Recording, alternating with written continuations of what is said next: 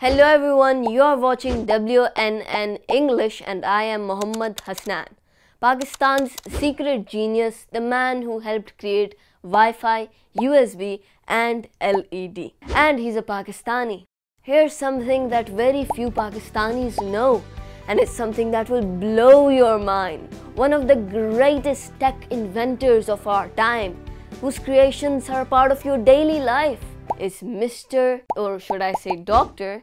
Naveed A. Sherwani. That's right, from Wi-Fi to USB technology, LED displays, or even the technology used in iPhones and laptops. Dr. Sherwani's work has played a critical role in making them possible. He graduated from NED University of Engineering and Technology in Karachi. Today, he is considered one of the top chip design engineers in the world.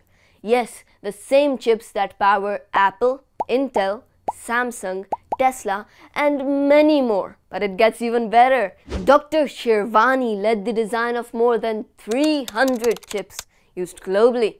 He helped them make them faster, cheaper and more energy efficient. You're watching this video on a phone or computer or maybe TV that most likely uses some of his work. Imagine that Pakistani genius is literally in your device.